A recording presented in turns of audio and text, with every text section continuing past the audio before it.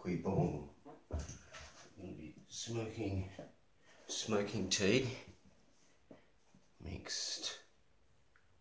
Basically what I do is I dunk all the tea out of my tea bags. We're going to be eating some Arabidopteria.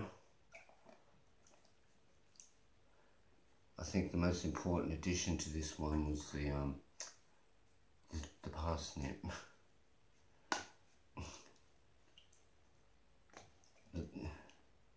and the and the radishes as you can see this is and the jalapenos and all that jazz. Stinks terrible nice to me.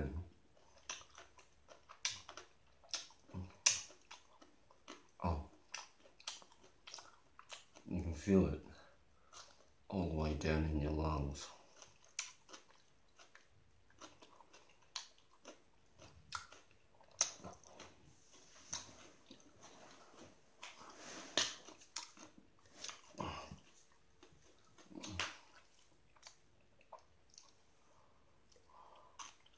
Making a gram last you. It's a bit about modulating of the receptors right? Because things like chili and stuff like that gets your your heat sensors going, and so you can your system responds by making cannabinoid receptors to come to retrograde that, you know. So so when you take your pot, so in a way, um, the bacteria the acidophilus and all that. I don't know how many strains are in that. A few wild ones too get furrow in your teeth. They don't worry me lungs, but um, the bacteria, the chili, the radish, Parmesan radish, what? And, and parsnips and turnips, those terpenes all induce cannabinoid receptors to come out, especially in this format. In your lungs, especially. Oh. Once that gets in your saliva, it goes straight down into your lungs and you feel it.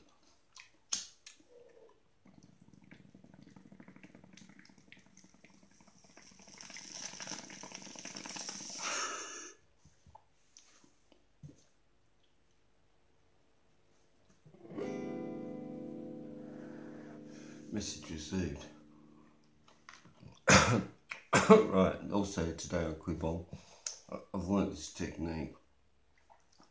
We're watching Bruce Lee, he's, he talks about whipping the dragon tail, you know?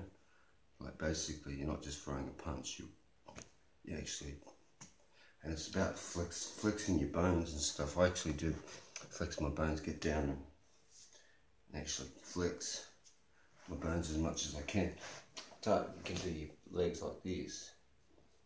I'll show you. Roll, roll the sleeves up.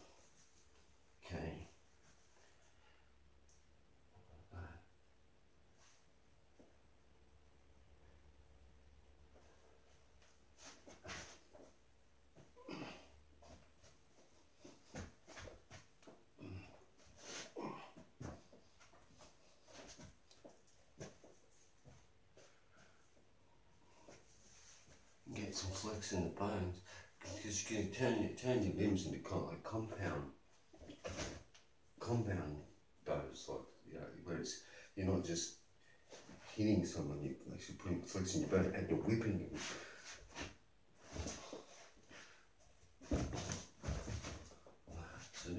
That